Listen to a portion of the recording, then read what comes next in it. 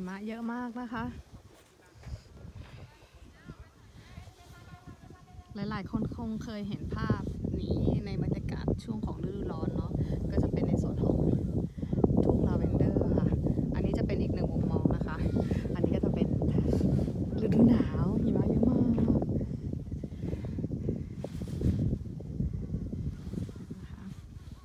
อีกด้านหนึ่งทางฝั่งนี้ค่ะ ที่เราเห็นอยู่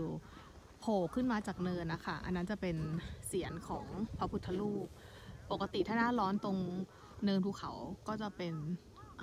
ลาเวนเดอร์เช่นกันนะคะลูกค้าหลาย ๆ ท่านเคยมาแล้วเนาะจริง ๆ แล้วพื้นที่บริเวณนี้คือสุสานนะคะแต่ว่าเขาไม่ได้ไม่ไม่ไม่ได้น่ากลัวอย่างที่เราคิดนะ มีการจัดทำรูปปั้นโมอายแบบนี้เนาะสวยค่ะ หิมะหนามากให้ดู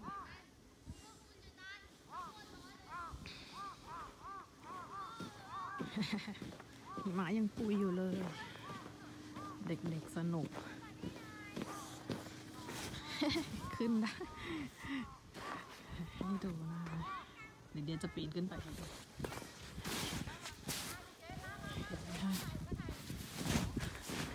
ขึ้นได้อยู่ว้าย สูง สูงมาก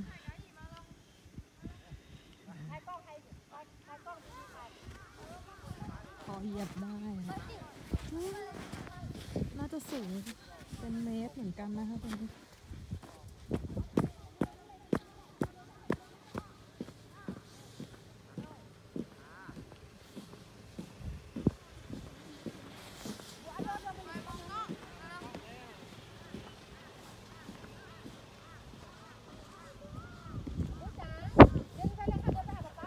มาเจ๊คนเดียวเจ๊คนเดียวเดี๋ยวเดินถ่ายให้หลานหนูแป๊บนึงเดี๋ยวเจ๊ถ่ายคนเดียวก่อนมองกล้องแล้ว ไม่อยากเอาไปอวดเพื่อนเหรอจ๊ะลูก มีเพื่อนกี่คน ให้ป๊าดูก็พอแล้วเร็วให้ป๊าป๊าดู มากด ไลค์หน่อยเร็วเร็วคนหน้าสวยๆดิจ๊ะเอ๋เดี๋ยวเดี๋ยวเดี๋ยวสวยสวยหันไหมหันด้วยหน่อยด้วยเออนี่เอาไปให้เพื่อนดูมีเพื่อนกี่คนเอาไปให้เพื่อนดูตัวเล็กไม่ยอมถ่ายรูปนะเขินกล้องฮะแอบแบลอยู่เอานอนเลยนอนโดดตุ้งเลยเร็วเร็วเร็วนอนลงไปเลยนอนลงไปเลย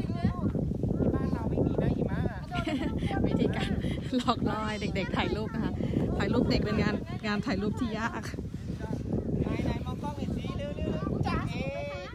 หนาวไหมคะนอนลงลงนอนลงไปสิโดดเลยโดดนอนลงไปเลยให้พี่เขาถ่ายให้หนูสวยๆแล้วพอแล้วพอแล้วเหรอก่อนนะอย่านะอย่านะเดี๋ยวคุณก่อนนะตัวเล็กนะสู้ตายมองกล้องหน่อยสิเดี๋ยวเอามือถ่ายดูสิไหนกดไลค์ทำยังไง เยี่ยมทำไงกดไลค์ไหนนิ้วหนูไว้ที่ไหนลูกนิ้ว กดไลค์โอ้โหคนนี้สุดยอดนี่ คนนี้สุดยอด กดไลค์ขอสองนิ้วเลยลูกสองมือสองมือไอ้ยสองมือเลยอ้านี่นี่นี่ให้ความร่วมมือด้วยนะคะอะโอ้โอ้โหคนนี้สุดยอดนอนไปเลยนอนไปเลยนอนไปเลย หิมะแรกของเด็กๆ นะคะ โอ้โห แสงกำลังสวย เป็นไงเจ๊เอานั่งเลยนั่งเลยนั่งเลยนั่งเลย นั่งเลยหนาวไหมอันนี้ที่จริงเขามันอยู่ที่ไหน อะไรนะ ประเทศอะไรนะอะประเทศอะไรนะ อังกฤษเหรอพี่หน่อยจำไม่ได้แล้วค่ะวายค่ะ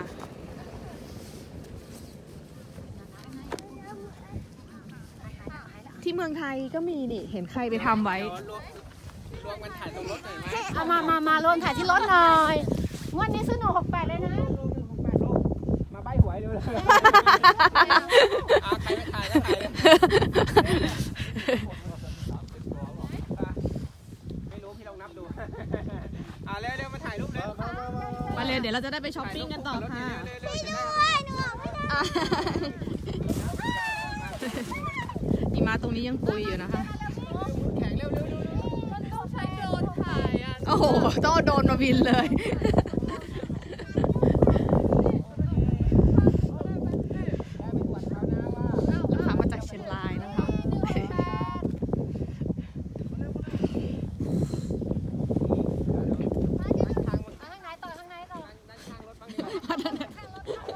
ได้ไป นี่น่าจะเข้าไม่ได้เอาเร็วเร็วเร็วโอ้สวยสวยน้องน้องผู้หญิงน้องผู้หญิงตาหิมะเยอะมากเลยค่ะชมบรรยากาศหิมะกันไปก่อนเนาะ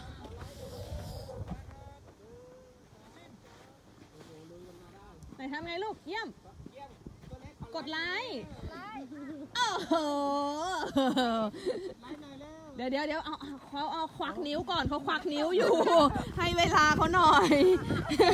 เอาเอาใหม่เอาใหม่ไปเดี๋ยวไปช้อปปิ้งแล้ว โอเคค่ะอุ้ยมาดิค่ะเดี๋ยวมาถ่ายวิดีโอให้นะสวยใช่ไหมคะหนึ่งปีมีครั้งเดียวนะคะบรรยากาศหิมะสวยๆแบบนี้ ขาวมากเลย เพราะว่าไม่มีใครขึ้นไป มันสูงนะคะ ที่เขาเอาเอาหลักอันนี้มาปักไว้เพื่อให้เห็นความสูงของหิมะด้วยแล้วก็เส้นของขอบถนนนั่นนะคะ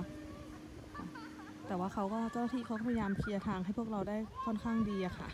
แต่ว่าถนนบนสภาพถนนที่เป็นหิมะค่อนข้างจะลื่นนะคะ ไม่ว่าจะเดินหรือขับรถเนี่ยต้องต้องใช้ความระวัง ตรงเสียนพระเราคงไม่ได้เข้าไปอะนะคะ สวยค่ะ เขาทำไว้ได้ดีมาก ให้ดูอีกทีหนึงก่อนจะปิดไลน์นะคะ เด็กๆ โดดหิมะกันไปนะคะเดี๋ยววันที่ 6 นี้ค่ะ ที่ซัปโปโรเองจะมีเทศกาลแกะสลักน้ำแข็ง เดี๋ยวเพื่อนๆ คอยติดตามนะคะ เรายังจะมีทีมงานค่ะ